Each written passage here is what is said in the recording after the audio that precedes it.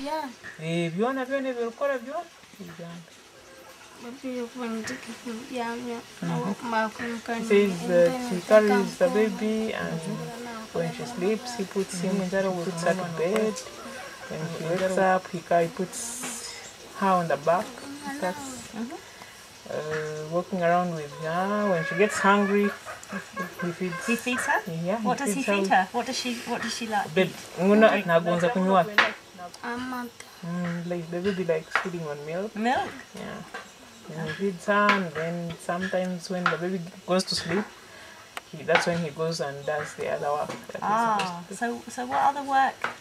What sort of work that ate Charles does? Can you, bakagwize ngo can you tell us? endi eyo kutali kuhimba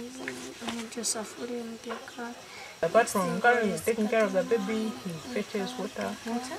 Yeah then after fetching water sometimes he comes and sweeps the compound He sweeps the compound. and then when all that work is done then he can rest a bit He can rest. yeah.